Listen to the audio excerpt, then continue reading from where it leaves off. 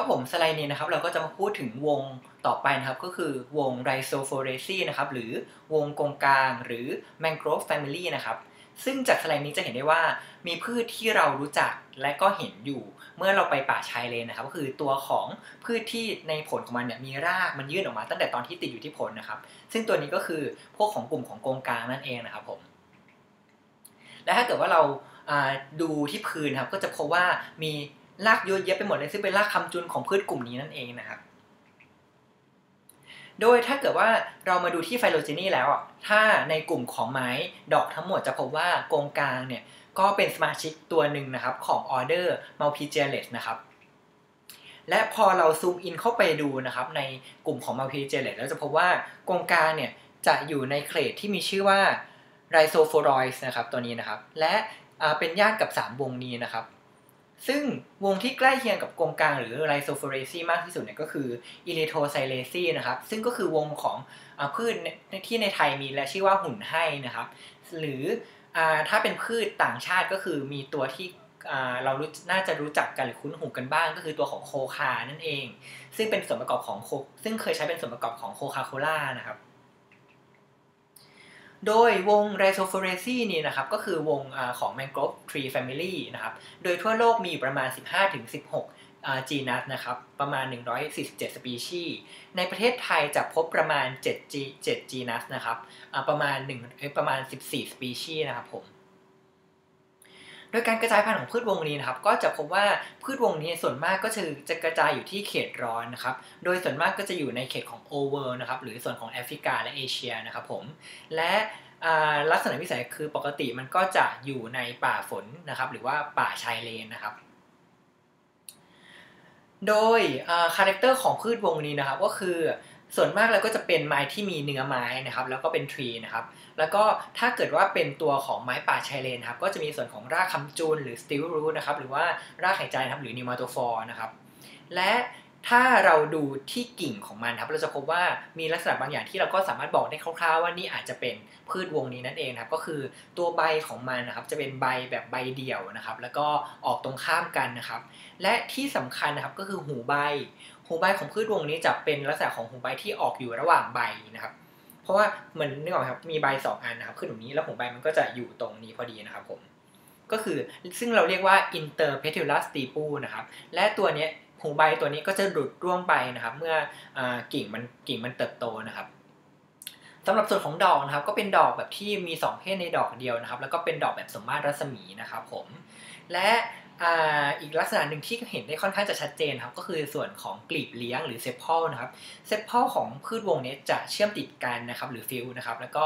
มีลักษณะติดทน เพราะฉะนั้นหรือ persistent นะครับเพราะฉะนั้นเมื่อมันพัฒนาเป็นผลแล้วก็จะยังพบว่ามีส่วนของเซปพอลติดอยู่นะครับผมและในส่วนของเพทัลเป็นอีกลักษณะหนึ่งที่ดีมากเหมือนกันนะครับลักษณะเพทัลหรือกลีบดอกนะครับกลีบดอกของพืชวงนี้จะแยกจากกันนะครับแล้วก็มักจะมีลักษณะเป็นเหมือน ปลายกลีบจะเป็นลักษณะเหมือนคุยๆนะครับ หรือว่าดูมันดูเหมือนเป็นเล็บนะครับโดยโดยส่วนของปลายของมันก็จะแยกจากกันนะครับ ผมเดี๋ยวเราจะมีภาพให้ดูนะครับ ตัวนี้เป็นลักษณะที่ดูค่อนข้างจะง่ายนะครับ และในส่วนของผลนะครับ ถ้าเกิดว่าเป็นพืชป่าชายเลนของตัวนี้นะครับ ก็จะ มีลักษณะของสิ่งที่เรียกว่าวีพลัสนะครับหรือว่าตัวของผลเนี่ยจเจริญไปเป็นต้นตั้งแต่ที่มันยังติดอยู่บนต้นแม่นะครับ โดยเราเห็นได้จากพวกกงกลางที่มีรากออกมาตั้งแต่มันยังติดบนต้นนะครับ อันนี้คือลักษณะแรกที่เราพูดถึงเมื่อกี้นะครับ ก็คือลักษณะของสตีปูที่เป็นแบบ interpetiolar steeple นะครับหรือว่าหูใบที่ออกระหว่างใบนะครับ ซึ่งในนี้จะพบว่า ตัวนี้ที่คือใบใบภาพนี้อาจจะยังไม่ค่อยชัดเท่าไหร่ครับ ก็คือใบของมันเนี่ยจะออกแบบตรงข้ามใช่ไหมก็คือ 1 ข้อมี 2 ใบใช่ไหมครับ ตรงนี้นะครับ และระหว่างใบเนี่ยก็จะมีหูใบอยู่นะครับ ซึ่งอันนี้จะภาพภาพจะชัดเจนกว่าครับ อันนี้ครับก็คือหูใบนะครับ ที่เรียกว่า interpetalous stipu และจะเห็นได้ว่าเมื่อมันโตขึ้นนะครับ ส่วนของหูใบนี้จะหลุดล่วงไปนะครับผม และส่วนของกลีบดอกนะครับ กลีบดอกที่บอกว่าอะดูกลีบเลี้ยงก่อนดีกว่าครับ กลีบเลี้ยงครับก็คือส่วนนี้นั่นเองครับ ซึ่งตัวนี้ก็จะติดทนนะครับ ผมที่ดูหนาๆใหญ่ๆเนี่ยคือกลีบเลี้ยงที่จะติดทนต่อไปนะครับ และส่วนนี้คือส่วนของกลีบดอกนะครับเห็นได้ว่ากลีบดอกของมันเนี่ยมีลักษณะที่ต่างกันนะครับ ก็คืออ่าตัวปลายนะครับก็จะเป็นลักษณะของออกเป็นขุยๆนะครับ ผมแล้วก็ปลายแยกนะครับเห็นไหมครับตรงนี้ก็คือปลายที่แยกจากกันนะครับผม อ่าสำหรับตัวอย่างของพืชในวงศ์ Rhizophoraceae ที่เจอในไทยนะก็คือโกงกางใบใหญ่โกงกางใบเล็กนะครับซึ่งอยู่ในสกุลของ Rhizophora สกุล Rhizophora นะครับผม แล้วก็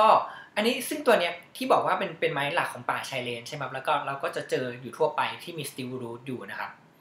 อันนี้ก็คือลักษณะของการที่มันเป็นวีวีวีวีพลัสก่อน ซึ่งการที่พืชตัวเนี้ยมันเจะเจริญรากออกมาก่อนดียังไง พอ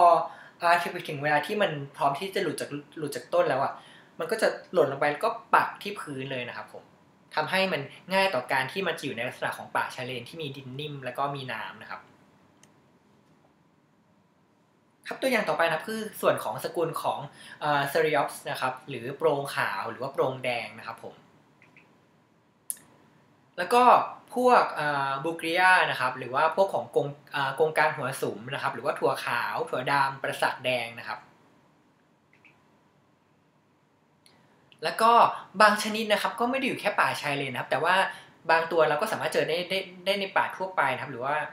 ซึ่งตัวอย่างเช่นตัวนี้นะครับ ตัวของเฉียงพระนางแอร์นะครับ หรือว่าสกุลคาราเรียนะครับ หรือคอแห้งขาวนะครับผม นอกจากนี้ก็ยังมีสกุลอื่นๆนะครับอย่างเช่นไอ้แกรกนะครับรังกระแทนะครับ การพลูหรือไอ้แกรกใบเล็กนะครับผมสำหรับพืชที่มีลักษณะใกล้เคียงกับพืชวงนี้นะครับ ก็คือพืชของวงรูเบียซี่นะครับหรือวงเข็มนั่นเอง โดยวงศ์เข็มตัวที่จะค่อนข้างจะให้มันสับสนกันคือ พอเราดูกิ่งเนี่ยจะเจอเลยว่าวงศ์เข็มก็จะเป็นใบออกตรงข้าม แล้วก็มี interpetiolar stipule เหมือนกันนะครับ แต่ว่าสิ่งที่ต่างคือ อย่างชัดเจนก็คือตัวของดอกนะครับดอกโดยตัวของดอกของพืชวงศ์เข็มเนี่ยก็จะมีลักษณะของกลีบดอกที่เชื่อมติดกันหรือ sympetalous นะครับผมแล้วก็มีวงศ์ของ Loganiaceae นะครับซึ่งตัวนี้ก็จะเป็นกลีบดอกเชื่อมติดกันเหมือนกัน แล้วก็ไม่มีหูใบนะครับ แล้วก็ Myrtaceae นะครับหรือวงศ์ชมพู่นะครับซึ่งตัวนี้ก็จะมักจะไม่มีหูใบนะครับแล้วก็จะพบว่าถ้าเป็นวงศ์ Myrtaceae เนี่ยจะมีเกสรเพศผู้จำนวนมากครับแล้วก็เกสรเพศผู้จะ showy นะครับหรือว่าโดดเด่นนะครับผมครับผมสำหรับ reference นะครับ ที่อยากถ้าต้องการอ่านเพิ่มเติมนะครับ ก็สามารถไปดูได้ที่หนังสือ Tropical Plant Family Identification Handbook นะครับ แล้วก็ Flora of Thailand เล่มหนึ่งนะครับผม